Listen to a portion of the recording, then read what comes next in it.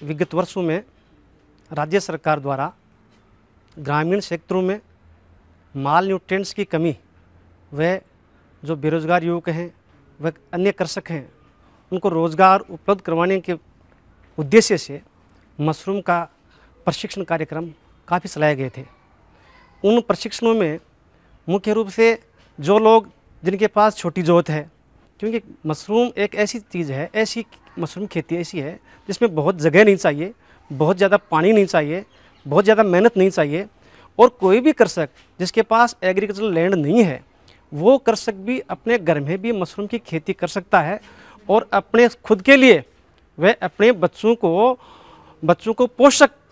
तत्व उपलब्ध करने के उद्देश्य से ये कर सकता है। साथ ही साथ उसको अपनी उपज का अगर मान लो सरपल्स करता है वो तो वो बाज़ार में बेचकर उससे अच्छा मुनाफा भी कमा सकता है।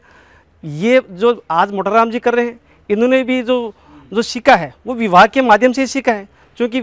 पूर्व के वर्ष में अपने विभाग द्वारा, उद्यान विभाग द्वारा मशरूम का तीन दिवसीय प्रशिक्षण करवाया जाता था, जिसमें बाकायदा पूरी प्रोसेस जिसमें पूरा प्रैक्टिकल नॉलेज कृषकों को मौके पे पूरी कैसे इसकी, कैसे इसका